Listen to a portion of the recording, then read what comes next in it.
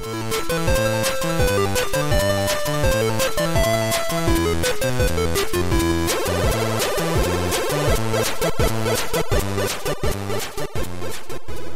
everybody, and welcome to the Chaotic Stupid podcast. Uh, this is Mike, and I'm here with my friend Mark Stuart. Hey, Mike. Good to be here. Yes, it is good to be here, isn't it, Mark?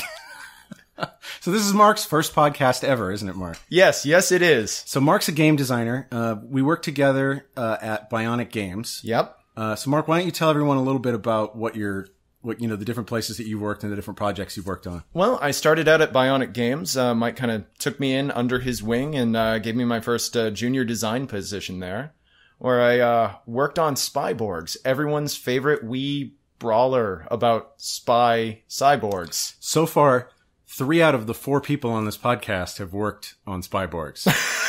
Because I've had Tony and Jucket and you. Okay, Right, So, so the entire audience out there must now really know everything about Spyborgs. Yes, I think we've even shown the Team Alpha Go video during Ryan's. uh, Okay. Yeah, so it's it's it's it's out there. So does that mean it's going to be flying off the shelves now? Well, I don't think it's on the shelves anymore. I don't think it's been on the shelves since about three months after it came out, has it? Uh, But that, but you know, that was a good first job. It was an excellent first job. Uh, following uh, my work on Spyborgs, I actually went to uh, Disney Interactive, where I was a designer there. And uh, that was interesting being on the publisher side. So there I spent my time not really working on a single title, but actually doing more consulting work on other games that they were doing. And uh, there, that was interesting. Depending on the project, either it would just simply be checking builds and design docs as they came in and just basically telling the higher ups, yes, this looks like a game design. Uh, here are some things in the design that might be an issue down the road. We should probably look into those. Um, and other times it was a lot more hands on. Uh, actually, I worked on Camp Rock 2, the final jam. Oh yes, I remember Camp Rock Yes, too. yes. Uh, that they was a Game Boy game. Yeah? DS. Well, I, I count it as a Game Boy. That that was the uh, the rhythm and music game where they could only license five songs and couldn't put non-licensed music in there, so they had to figure out how to fill the rest of the time. And how did they fill the rest of the time? Uh, with a canoeing game and a surprisingly robust uh, water balloon game. oh right, was that the one that had Sarah Palin's face? Yes, Sarah, Sarah Palin's floating head that would uh, start spitting fireballs at people. And they didn't understand why that wasn't shippable. No, so they sent me to China to help out on that. Okay. Well, you know, we're definitely going to have to talk about working for a publisher because you're the first person besides me on the show who's worked as a designer for a publisher. Yeah, which, as I'm sure you can uh, say, is awesome. There's a lot of great things about there, but you also miss a having the hands-on approach with everything, and b kind of being the villain at times. Right. Yeah. Well, I guess if you're on the publisher side and you're going to a developer and telling them bad news, then that's villainous. Uh, let me use it in Star Wars terms. You're kind of Darth Vader at that point. Yeah. Even if you're right, it's like, oh, here's the guy from the publisher. Well, you see, they always loved me when I'd come in, though. Oh, I, yeah, I yeah. wasn't Darth Vader. And I guarantee everyone on Bespin loved Vader.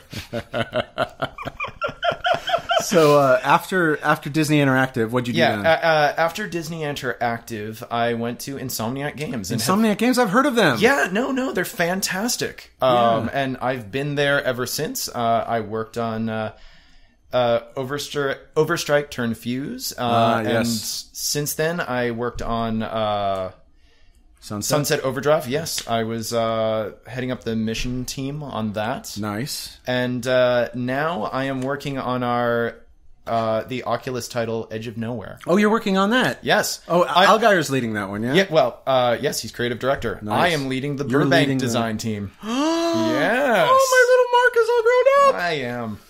Here, fist bump. You guys Boom. can't see that, but we It, totally it was pretty exploded it. awesome. So, uh, oh, you're leading that. That's cool. Yeah. Uh, what, are you are you leading one of the specialist teams or the generalist design team? D- Uh, generalist design team. Nice. So. nice. Yeah. Nice. Nice. Okay, I mean, one in more fact, fist bump. I am leading the design team on Burbank. We have two guys over in North Carolina, and we've got the rest uh, over here in uh, Burbank. Cool. All we'll of have us to talk about that too. wearing rifts on our faces, staring into the void. It must be really hilarious to come in and just see a bunch of people staring into their VR goggles. It's it's a little creepy because I, I I'll like walk in with my coffee and just half the team will just be staring straight through me. um, Yes, we'll also have to talk about working on VR and how that's different. Yes, So, it's uh, quite quite exciting. And I must point out that none of the views that I share here are officially uh, Insomniac's views Yes. or supported by Insomniac in any way. that is important that you all understand that nothing that Mark says here is anything that Insomniac would say. Period. yes. Yes. But uh, no, Insomniac is a fantastic company. Uh, It was fantastic when I worked for them too. So. still is. It is the uh, number 12 best uh, small to medium uh, workplace. good times. Ju- just won that again for, uh, I don't know how many years running, but quite a few. Yeah, I, I, I was there when we won it the first time. That was uh, surprising, and then not surprising because we won it, but surprising because no video game company had ever won it before. Then we won it a bunch more times, and it's like, well, yeah, of course we won it, right? Like, yeah, like just like we've won it all the other years. But yeah, they're they're especially for the kitchen, man. Oh, the kitchen is still fantastic. Oh Legendary. my god. Seriously. I remember hearing one time they spend something like fifteen thousand dollars a month on the kitchen. It might even be more now. I I I don't know the actual figures. Actually, they they recently showed us the figures versus our, like our general budget, and turns out it's actually fairly reasonable what we spend yeah. on it. But by God, is it nice what, after a long hard people? day? You know, when, when you're putting in those extra hours to balance things, it's like I know there's muffins in there. Yeah, yeah. Oh no, it made a lot of difference. Well, because from I went from Insomniac's kitchen to uh, you get free sodas at the vending machine, but get your own snacks. Okay. Right, that was my next one, and then I went to Bionic after. Oh that, yeah, the Bionic kitchen. which was only the vegan-friendly snacks and no sodas provided. The, so, so the best part about being a junior designer at uh, Bionic was when HR said, "We need somebody to help stock the kitchen. We're willing to pay you an extra stipend, and not tell you specifically what to get." Oh, okay. So that meant I was actually making an extra chunk of change just to make sure everyone was eating the pumpkin loaf I wanted to eat for breakfast. Oh well, that's good. Yes. That's that's slick, Mark. Good job. I didn't know. Didn't know you had a little deal going on under the table there. I just thought she was pressing you into service. Oh yeah. All, all I had to do is complain. It's like, oh, I guess I have to go get the food now. Yeah. But yeah, the, the vegan thing got a little awkward because I remember when at one point like we weren't supposed to have coffee creamer Oh, because yeah. that, that might be unfair to people that are lactose intolerant. yeah. Well, that would be very unfair. Yes, So, uh, let's see. So the kitchen. Do they still have the pinball machines? they do not have the pinball Not have the pinball machines. machines? They, they do not have the pinball machines. They don't let you play with their pinballs anymore. No, That was a Um, big selling point for a while. But uh, yeah, no, we still we still do Insomniac events. We got the Friday lunch. We had the. I remember we bought the pinball machines because we were going to make a pinball game, and it never got made. I remember hearing about that was- game. it I was know nothing infamous, about it yeah. other than like somebody uh, showed me some of the artwork for it, and I'm like, that's gorgeous. It was really gorgeous. Yeah, I remember. Uh, you, you remember Craig Goodman? Have you ever? he's in. He's in. Uh, He's in uh, North Carolina. Yeah, good guy. One of my favorite uh, uh, Insomniac artists. Like, just he's great guy, and everything that he does is gorgeous. Right? He did the uh, uh, some of the pinball table art in that one, if not all the pinball table art. And they were really intricate. Like they were trying to go for real, uh, uh, real detail there. It was cool. But yeah, so it's too bad no more pinball machines. Oh well. Uh, let's see. So uh, let's talk about what it's like working for a publisher as opposed to a developer, because it is different. It's a lot different. Yes. Uh, now, I worked for a developer first, then went to work for a publisher. But for you, you only had that little stint on Spyborgs and then publisher Then- time for a while, right? Publisher. Uh, yeah. Now, I mean, certainly, like Spyborgs toward the end got a little crunchy. what? I'm just saying. I wouldn't say a little crunchy. I would probably say death marchy. Yes, yes. Hey, I, I was lucky. You sent me home at three, so I could see you again at eight o'clock when you were still at your desk. Well, I asked them to lay me off early so I didn't have to work those last few weeks. So you got all that work. So it, it, it evened out eventually, I think. It, it, it evened out. Um, but g- going to a publisher, publishers for the most part keep uh, far more regular hours. Um, and when I remember at Disney at one point, they're like, "Yeah, we we, we got to stay till eight tonight." oh, And no. I'm like, "Oh, are, are you serious?" um, yeah, and, and then whereas, sometime- at, whereas at a developer, it's like, well, I'm going to leave at 8 tonight. Is that okay? yeah, exactly. Yeah. I'll be back in at eleven. Yeah, exactly. Uh, I remember. I remember it on on Spyborgs when Scriptgate happened. Oh, uh, I went out to have dinner with my sister, and everything exploded while I was gone. and uh, I had to go back into the office at like 2 a.m. and try to get my stop my friend from being fired. Oh. Yeah, that was fun. Um, yeah. So so there's a lot less of that at a publisher. Yeah, Um, yeah, that's a gr- that's true. You know, as I say, you're working at least the way Disney Interactive worked. Uh, you're working on a lot more projects at once. Um, I believe I had a stable of five projects at any time uh, that I was working on, and as I say, a lot of it was more uh, consulting work. Um, there are some games that are like absolute dreams that basically they'll work themselves out. Basically, Yeah, so you're not necessarily working on the successful stuff yeah, because that's the stuff that's being successful. right now. Exactly. You know, need as much you'll, you'll have a title that's coming out that's like uh, the the fourth Disney Sing It game. The company that's been making Disney Sing It crafted the formula they always sell. They're really good at what they do, which is a singing game. So leave them alone. Exactly. Yeah.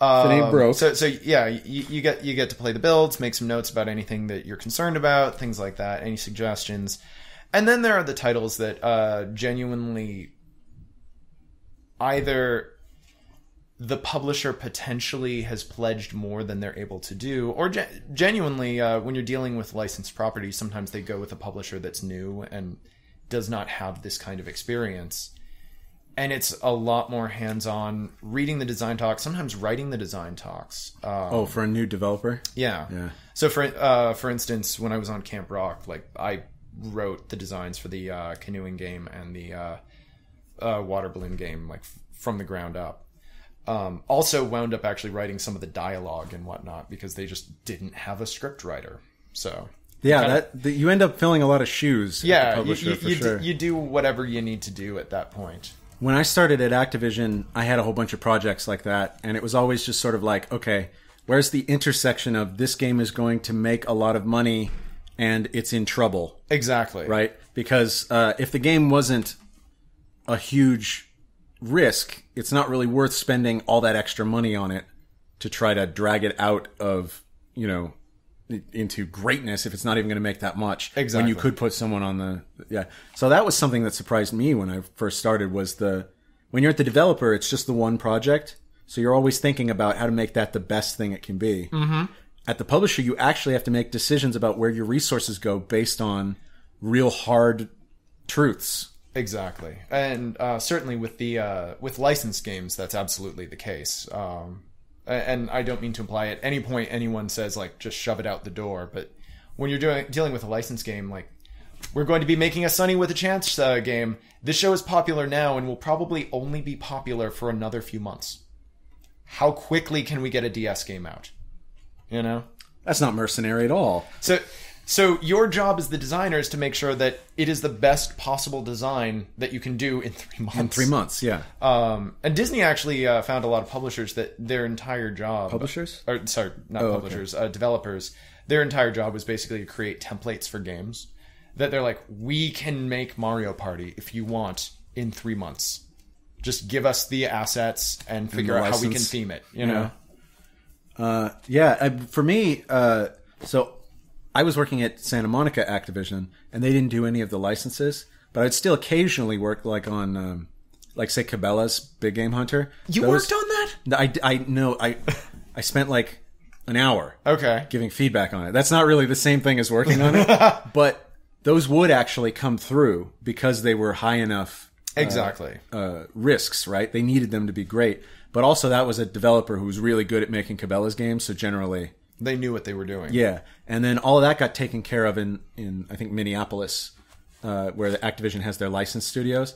Shortly after I started, uh, the middle fell out of the console market. That Ah. was when you couldn't make money off of a licensed game just by the license anymore. Exactly. And so you couldn't make those, you know, uh, uh, Pixar games that could, you could make for something like 10, 15 million dollars Mm-hmm. and then make back more than that, right? Uh, now the only things that were making money were the things that were like 50 or 60 million dollars to make. And so all the middle things had to just go away. And so I found myself, instead of having five projects, I had one crucial project, right? Or, you know, two crucial projects. It was stuff like that. Or, hey, we really need you for a week to do this thing, you know?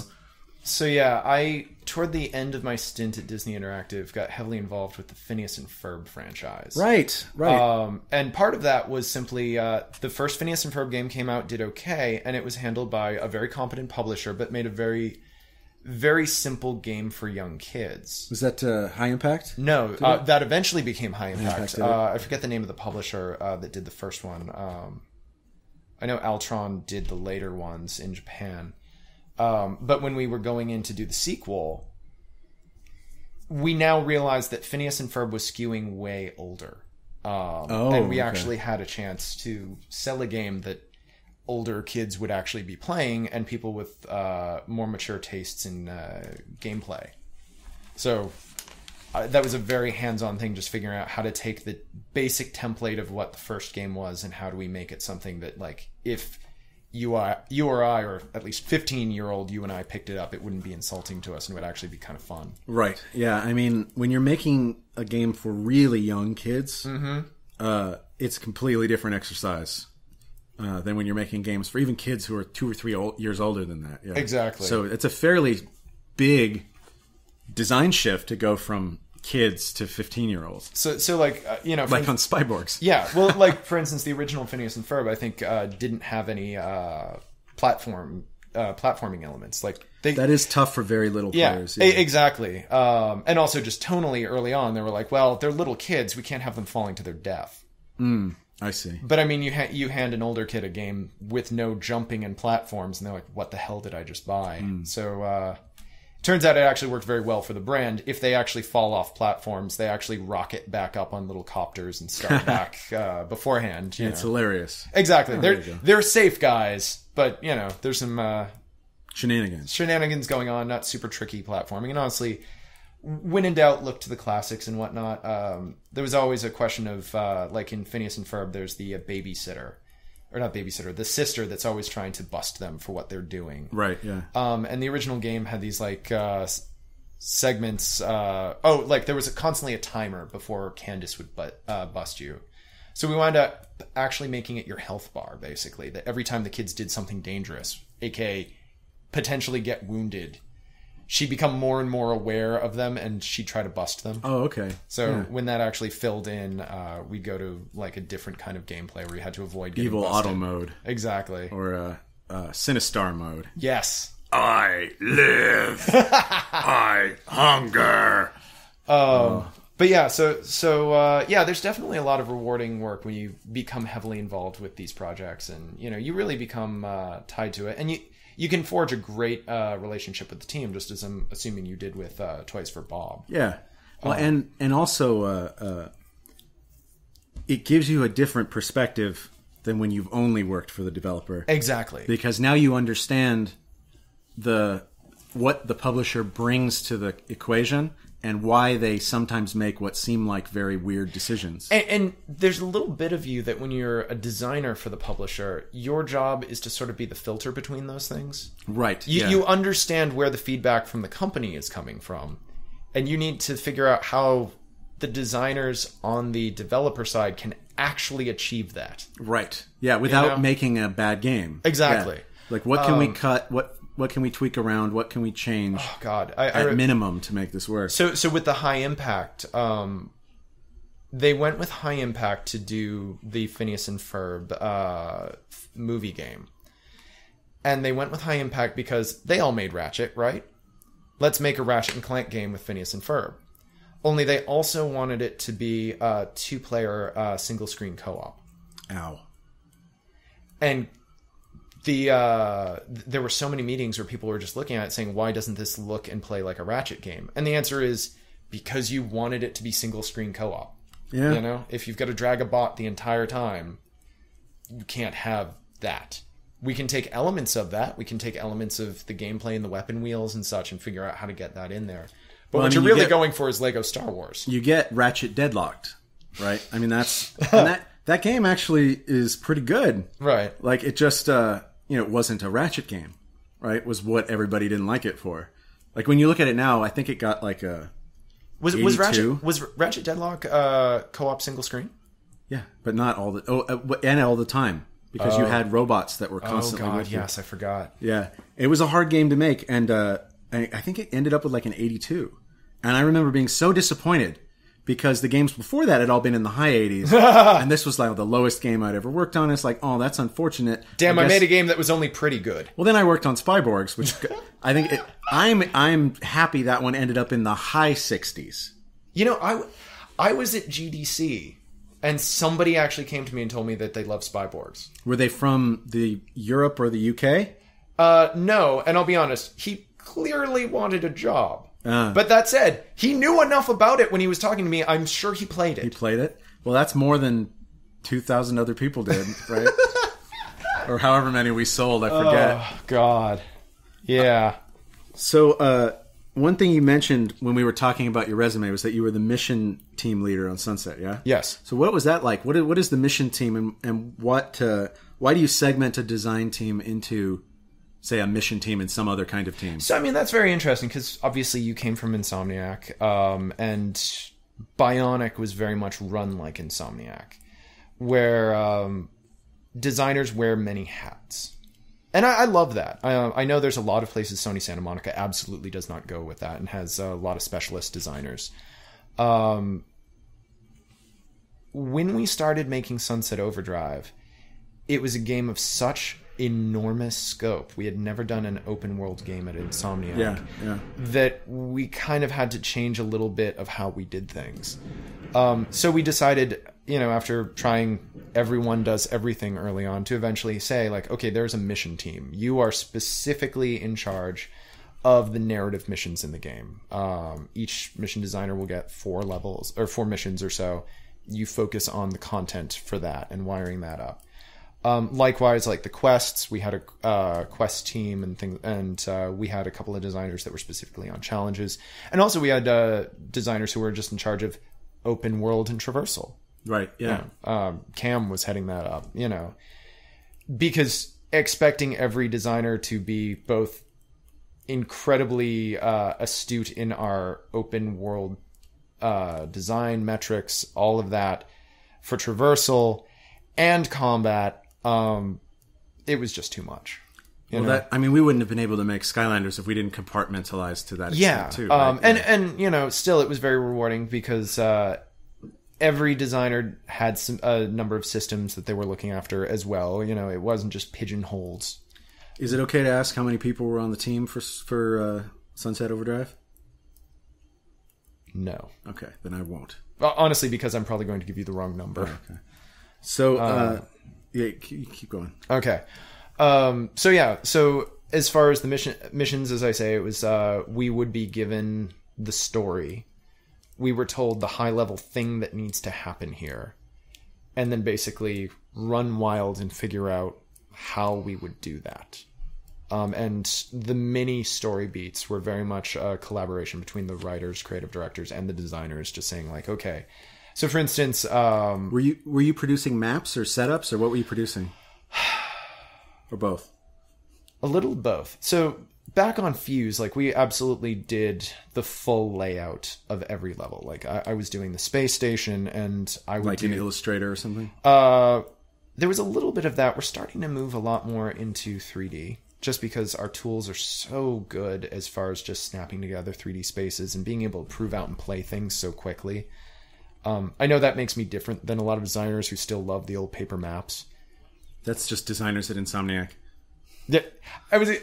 I feel like there's a little bit of old fashioned in there. There's definitely great things that can be gleaned from paper maps. Yeah. But when you can iterate so quickly in 3D and actually get in there and play it, I mean, the fact that I can do good paper maps is probably why I keep getting jobs. oh yeah, and So I'm glad I can you do it. trained me in that. That that's how- It's a good skill to have. Yeah, it's a good skill to have, and it's how I started out. But most Um, people prefer 3Ds these, these Yeah. days. Most people work that way. um, But I mean, if you don't have that first, right. you know, that, that foundation in thinking about it to, you to be it, able to actually break down from a higher higher level, literally what everything's going to look like and how it all fits together. It's definitely a good way to learn. Yes. Like if I were teaching a, a college class in this, I would start with paper maps before we ever got into Unity. A- absolutely. Um, occasionally, at some point in production, like while I, while, I, while I've been at Insomniac, somebody has been like, "Well, let's try doing 2D maps now and just see how everything holds up." And it's fine, it's fine. But I've noticed sometimes it takes people way longer just to get everything on metric and looking great in Illustrator. Mm-hmm. Than it has they to look great. yeah, Yeah. Um, and it, That was th- one of that's the things I exactly, taught you. That, it, it always has to look great. You can't just give someone a rough black and white map and be like, "Here it is." People Yeah. look at it. It's like, eh, it's so angular. What's going on? But no, you put in some little, little fake explosions here, tiny trees to say this is the forest. Gradients and drop shadows. Oh God, yeah. People Yeah. are like, now, now this, this looks great. Well, one thing I found out it was super useful for was uh, uh, when we would give maps to the environment artists, they Yeah. wouldn't get very inspired by it, right? Because they're they tend to be very visual people. That's why they're artists, visual Mm-hmm. artists, right? So I found that when I would give them impressive looking maps. Or even frilly 3D maps, right? Where, Yeah. like I would just run some cylinders along the top and have some pipes, and all of a sudden they'd be like, "I understand this now," you know, like That, that is a lot of sense. absolutely still the case. So I would have to learn like uh, how to compose Yep. things and yeah, or, or views. Yep. You, know? You get uh, you give someone pure gray blo- gray box, and they're like, ah, here- this space is so empty. I can think of a hundred things to fill it. Whereas if you do add those little touches and whatnot, people are like, oh, I get what it's supposed to be. But I mean, if you're not handing the if if if you're not handing the map off to an artist, Yeah. you know, putting in the effort to make a final product map is probably not. You know, like doing a, a, a rough up to the point where you go into 3D and ending in 3D and handing that to the artist is Right. what I see a lot of people do as a compromise, or they just start in 3D. Yes. But Um, I, I usually see better results from the people who start conceptually first, but not So- always. J- just going back to pipeline on Fuse, it was 2D and 3D maps that were handed to the artist, and the like very much part of your designer job was to do the 2D and 3D maps. Um, And and usually then- a and then walkthrough you- document too. walk yeah. through, absolutely walk through document, uh, chart out the beats. Um, Oh, the beats, yeah. Yes, yes. Um, and then wiring up the enemy setups. On the mission team, it was a little less of the level layout. Now, you did some of that if necessary. But basically, you'd be given the open world, and usually some direction creatively. It's like, this should take place in this area. And you choose a space that works. And the uh, open world team did a great job uh, creating spaces that could accommodate combat, could accommodate. I mean, the entire Good idea. Good reason to have specialists Yeah. in that because they can make things Exactly. like that. In, yeah. fa- in fact, ear- early on, there was a concept like this is an exploration space, this is a combat space, this is. And then once we created an open world game where you're able to traverse everywhere and the streets were uh, filled with dynamic events that could uh, spawn zombies chasing you everywhere, everything had to accommodate combat. right. Um, so you would choose the space, you would see how it works for you, and then basically design any specific geo that you need for the mission. So, like for instance, uh, I did the hot dog factory mission where I was basically told you need to get into the hot dog factory and find out um, or Was find a hot journal. dog factory actually producing beef tubes, or was that an in, uh, euphemism? it was not a euphemism. Ac- Actually, It I- wasn't like a smut theater or something. No, uh, it somewhere early in production, people were like, "A hot dog factory. We'll have a hot dog factory," and it wound up being like the weirdest, uh, like, uh, Does it involve a dude in a hot dog suit? no, it, uh, what are the organs that don't do anything anymore that we just like our appendix? yeah, vestigial. Yeah, vestigial organ. Like somebody laughed at the word hot dog factory at one point. Uh, because er, like a previous designer early on when we had more instanced interiors, like had conveyor belts and tubes of hot dogs everywhere. Um, eventually we ruled that there'd be almost no interiors in the game, uh, except for a couple of very specific places. So it was hot dog and kind of name only. Okay. We had some crates that would spawn hot dogs and whatnot. Like you Um, do. yeah, but ba- basically, like the open world designer said, like, here's the silhouette I imagine the hot dog factory will be, and then go in and tweak it to what you need to do. And I was able to uh, work with uh, some fantastic artists to actually get like an interior space, so that the idea is you had to get into the factory, but it was more about getting uh, powering up uh, some construction equipment to knock the wall down so you could get in. It was basically just like a small room inside that you could go to. So it wasn't that much in terms of creating a new space, but Yeah, but figuring out- working within the space. that. Exactly, and uh, I mean, certainly depending on the designer, there was there was definitely uh, a lot of custom uh, layout work to be done, but not nearly the from the ground up. You know, design a space station. Yeah, You yeah. know? Tell you me- know what the shape what of you the room think is is. going to happen in this space. Exactly. So uh, for, it was coming up with the actual mission objectives and how each of those would flow into each other and wiring those up. So if the mission was invade the hot dog factory, you had to come up with a specific bullet points that would get you from not invading a hot dog factory to being inside of a hot dog factory. Exactly. What keeps? What, what is keeping the player busy? What are the highs? What are the lows? How many rats do they have to kill? Yes. Well, and uh, that's actually a very good point. One of the things that worked very well for um, Sunset Overdrive, that kind of characterizes Sunset Overdrive mission uh, design, is that each of the missions has kind of, uh, for lack of a better term, a one-off memorable thing. Um, so, like for instance, the hot dog factory. You know, what makes this mission different from every other mission? Because at the end of the day, Sunset Overdrive. dog crates? No, no, it, it is not. Because at, at the end of the day, every mission of Sunset Overdrive involves monsters to shoot, things to grind on. Um, so, like Hot Dog Factory was, you can get inside the crane and operate the crane before you actually smash the wall down. And uh, it basically involved like a cross between uh, a, cross between whack a mole and uh, the old Turtles in Time uh, Technodrome boss, where you could actually throw people at the screen yeah. but you know it was a lot of fun to design and like that that was kind of like the unique linchpin here or uh, for instance there was a mission where you're supposed to retrieve somebody's uh, robotic pet dog and that actually became a little mini uh, mechanic where you could operate the dog and basically fire treats that would lure him into murder other enemies like you do. E- exactly so you know that's what's It special ro- about it this was a mission. robot dog or it was a, dog? robot dog So it was like canine. Yes, yes. Uh, it was, uh, I, I believe, uh, Fufu, uh, the uh, robotic dog, and uh, yeah, Affirmative.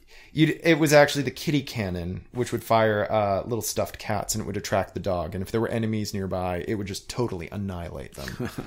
Which, Like the- like by the way, little game design tip: uh, when that mechanic started, uh, it really didn't work out well because you can over design stuff.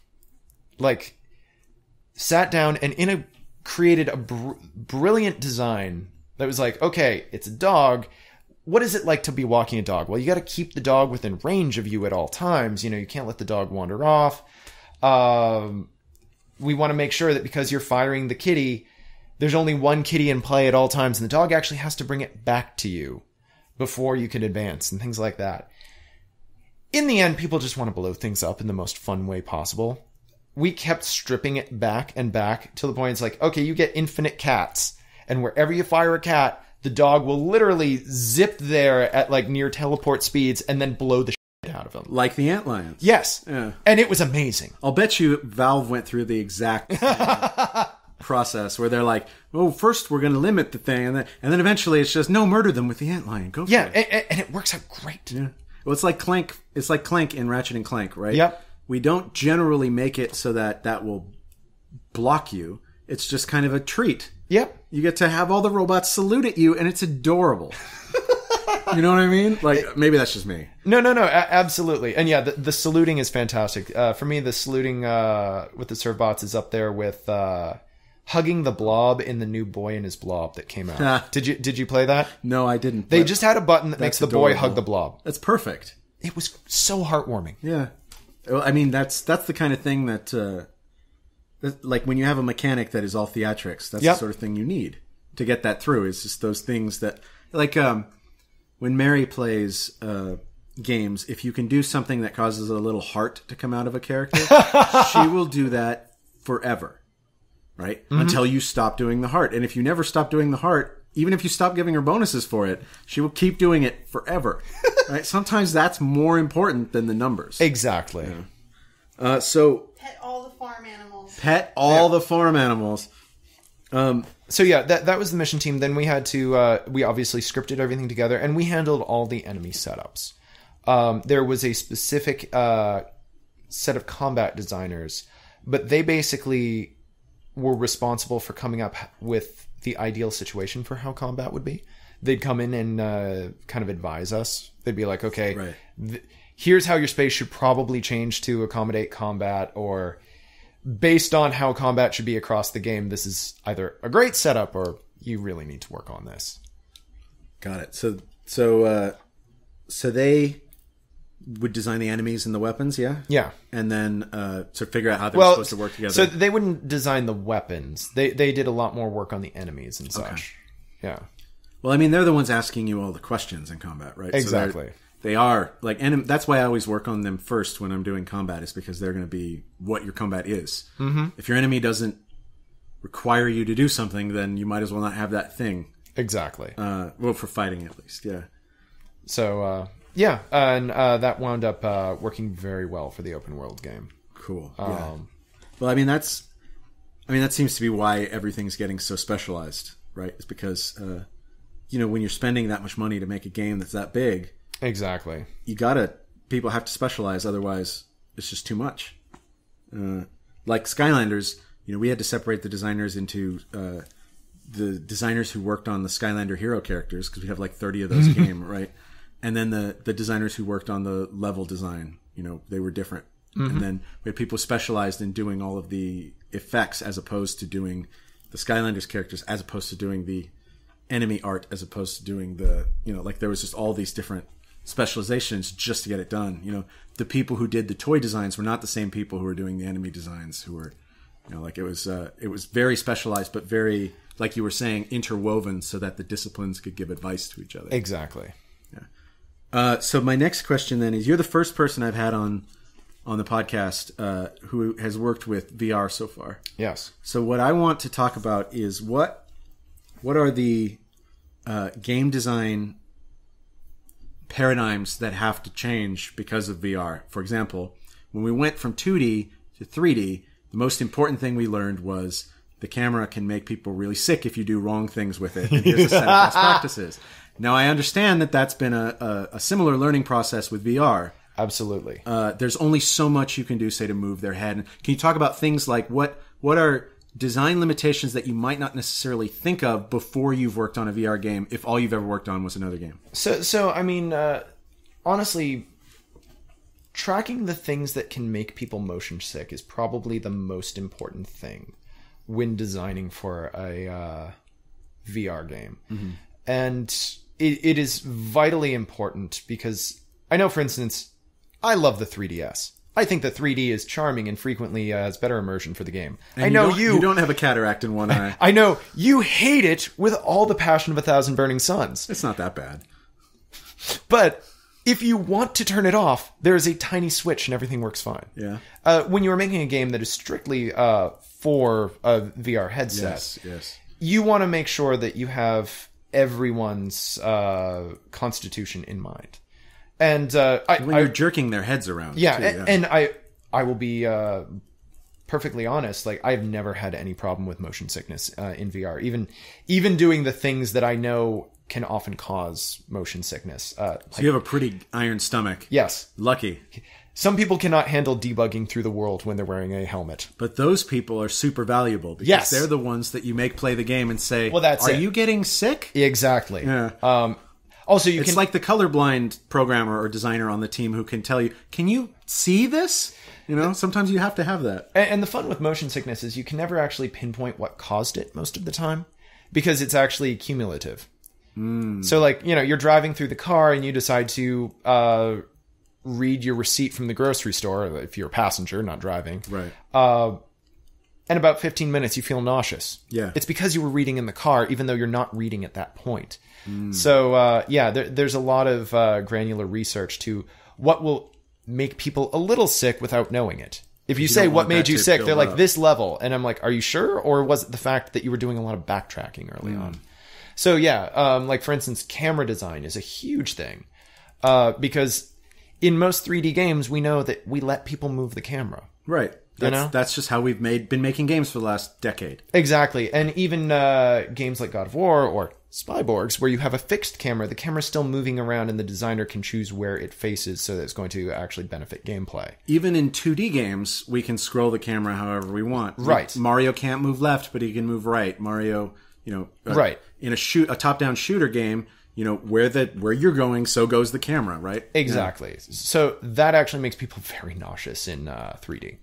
So um, that is why some people do first person games in Oculus. Uh, you you know the camera's going to be falling around because it's your head. Um, Edge of Nowhere um, is exploring the uh, exciting territory of being a third-person platformer. Yes, that's one of the one of the only people trying that. I think Yes, right now. So yes. you're, you're Um, breaking new ground in VR, Mark. Yeah, and we are aware of that, uh, and and it's pretty exciting, and uh, certainly You heard it here first, folks. you know, certainly imagine platforming where you actually are aware of just how high up your character is at all times, where Right, you can look you can look down, down. and see that it is not just fall to death, but fall to smash all of your bones. yeah, yeah. Um, and there's some fun things that you can play around with that. Like, for instance, imagine if Mario actually could look up and see the thwomps lingering above his head. And that was actually something he had to do while walking around. right. Um, but yeah, you actually can't force the camera in any location. In fact, generally the camera is ro- rooted right behind the player. Um, a lot of people get nauseous once you start even blending the camera in and out from the player. That makes sense. Yeah. Because if it's a subtle combination of you moving your head and it moving your head, and then you don't end up where your inner ear tells you you're supposed to be, Exactly. that could be really It- it's disorienting. it's very much uh, tied to also player input. Like we've we've found that uh, if the camera moves and the player didn't push a button, they get really nervous. Hmm. So we there are things you can do. Uh, I mean, if you actually have a one second fade, you can actually move the camera to fixed locations, but you're not going to have the player actually just tilting the camera. And it's interesting because now there are so many more things the player can actually see than they would in a traditional 3D game. Um, like, for instance, being able to look up and see icicles directly above their head, Right. or you know, be cognizant of something directly behind them by just glancing over their shoulder. wow, and now the artists have to make all of that. Yeah, exactly. However, because the camera's fixed, like leaning over and looking over the edge that your character's standing on, like you could probably do that a lot easier if you could just kind of pull the camera in. It's not dangerous like in a third person game where you have to walk to the edge and then move the camera up and hope you don't walk off. Exactly, exactly. can't really lean over the edge to see. Yeah. So um, also, so you've got the camera trailing behind the player. You also don't want it clipping into anything. So uh, you you have to really be focused on the metrics and know this is the dead space between the player and the camera. Oh, and you can't have it clip anything either. Exactly. Yeah. Oh man. So So it took an incredibly complex problem and made it complexer. yes, uh, but just making sure the entire team understands like all, all those limitations, um, all those opportunities, and designing around those. So here, here's one thing that uh, actually makes people very nauseous in VR: walking backwards. You'll notice there's a lot of people who are in buses. If their seats are rear facing, they get nauseous. oh, really? Yes. Okay. same thing with VR. So at least in uh, we've discovered in our third person game, like the less you encourage people to backtrack, the better. it makes sense because then you won't get nauseated. Exactly. Yeah. Uh, does uh, so like in in a in a third person game or a second person game, there's a lot that you can do with user interface that just from watching 3D movies I've noticed is impossible in when you're doing an overlay over someone's actual 3D vision. What kind of user interface things have you run into? Well, we we're uh, Or, or is that not where you are yet? no no. I mean we're so we've actually found that it's actually you can actually do a lot of uh, 3D UI if necessary, uh, like weapon wheels and things like that. Are you talking about like that exist in in camera space or, or they, do they actually in the world? Oh, they float inches from the player's face. It's actually a little weird when you can kind of turn your head and peer around a around menu. a little bit. um, but yeah, uh, they're perfectly functional and actually work better than people would expect. Um, what do you we're, we're control doing that it. with with the controller? Yeah, Okay. uh, we're doing an experiential kind of horror game. So uh, we're downplaying a lot of UI. You know, clearly there there are certain things you need it or want it for, but Well, I mean, a lot. we don't have a lot are of hearts floating over people's heads or anything. But it's good to know that if that is in there, it won't necessarily be wrong. Exactly. You know what I mean? You know, Like, And, like we, we have over 3D reticules and whatnot, right. and they they work just fine. but they're all 3D, Yes, so there's no 2D reticles anymore. right. Is there is there any use for screen space besides effects at this point? That might be an open-ended question. Uh, it's kind of an open-ended question. Um, Yes, potentially. Yes, potentially, but but not for the things we used to use it for. Yeah. Um, so then one other thing, and then we can be done, and you can go home if you want. Finally, I will release you from your handcuffs. and You can go see your family again. Ah. Uh, so you said that uh, this time, so last time you were leading the mission team. This time you're leading the team, Right. Well, the, the the Burbank team. the Burbank Yes. team. Okay, Yes. so There- there is a uh, North Carolina team, and uh, Mike Daly's actually overseeing the entire design. I love team. Mike Daly. Mike You- you Daly's know the him? best. Yeah, he started before I, I left. Oh, cool. Yeah, no, he is fantastic. I Yeah, love working he's so him. chill. Isn't he's he? the chillest guy. Seriously. Like whenever something like the the shit would hit the fan, things would be exploding, and he'd just be like, "Mm, "It's okay, guys, we got this." Mm-hmm. And it's just like, "Wow, we love you." yeah, we hired him um, uh, on one of the projects. We had a bad experience hiring a senior designer. Okay. and so we decided not to hire him senior, and we hired him regular, and he busted up to senior like super quick because he was so awesome. cool. Yeah, I liked Mike a lot. Yeah. Uh, but anyway, what what what's the? Have you noticed the difference between leading the specialist team and leading a, a, te- a team of specialist teams? Well, so the way things are working right now, every it's a little closer to the old fashioned uh Generalism. yeah the the generalism the, the cl- closer to how we did things on fuse or spyborgs you know where we de- we definitely have overall layout designers that do like broad strokes of what each area will look like but most of the designers are actually handling some of the specific layout cover layout uh, tweaking the spaces to fit uh, what they want to do People get to wear more than one hat. they're wearing a lot of hats. Um, and honestly, every, It's fun. Eh, eh, yeah, and most of these people actually, uh, their hats fit very well. You know, Yeah. Well, some people are just good at multiple things. You know? exactly. Uh, like I remember when I was, uh, and that changes over time too. Like on the Ratchet games, at first I was really good at puzzles and really bad at combat, and nowadays I do combat more than I do puzzles, even though I like puzzles a lot. Right? It just changes over time. You You've always been a Zelda man, A Zelda man, yeah. Well, do you remember when I taught you about uh, a, a, a room full of blocks that could only be pushed in one direction. yes levers? Yes. Yeah, lever. And uh, I remember you you were like, but that's not how Zelda does it. And I was like, go home and play Zelda, and come back and tell me whether all your favorite puzzles. And I remember you came back and you're like, they're all levers that go in one direction. Yeah. When a designer designs puzzles, they usually think about three layers too far. Yeah. You know, Well, usually what you want to do is you introduce the elements of the puzzle and then just combine them in different ways so that the player uses the things they're familiar with to exactly. like uh uh did you play Talos Principle? I did not. It is a master class in puzzle design. If you ever want to if you ever just want to learn how to be a puzzle designer, play that game and just look at every puzzle cuz they do it perfectly. Uh like they they they'll teach you a mechanic and they'll do a bunch of really cool stuff with just that mechanic. And then in the next one, like they'll teach you another mechanic and then you have to do both, right? And then it turns out that both of them together end up being greater than just like a greater complexity than just them separately. And they all overlap in very different ways. So that like one thing by itself may be very complex and another one very simple. But when you overlap the two of them, it gets very interesting, you know? So it's, uh, I thought it was a, a, a very good game if you ever want to check that out. Uh, so that's all the topics I have. Is there anything you want to plug or say before we're done? It's okay if you don't have anything. You Well- could just tell everybody that with great power comes great responsibility. I, I was going to say, uh, you know, Drink your Ovaltine. g- go out there, play Sunset Overdrive again. Um, Yes. You know, And buy it if you haven't bought it yet. honestly, uh, Edge of Nowhere, it's going to be amazing. I keep hearing really good things from everybody who touches it, You know, so, do I, and I'm always happy to hear that. especially since you see more people who touch it than I do. Yeah.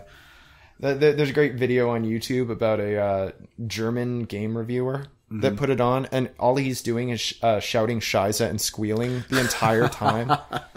like, that's the bar we've set now. Okay, well, thank you so much for coming, Mark. Hopefully, I'll have you back someday. All right, guys. Well, that's it for this month's installation of the Chaotic Stupid podcast. I'll be back next month. I think I may actually do it by myself next month, just do it on a few topics. But if I don't, then uh, I might be bringing in another designer friend, or who knows, I might even get an artist this time. An artist. Yeah. Where are you going to dig up one of those? From the other side. Oh. Yeah. Uh, so anyway, thanks everybody. Uh, bye. Bye out there. Bye.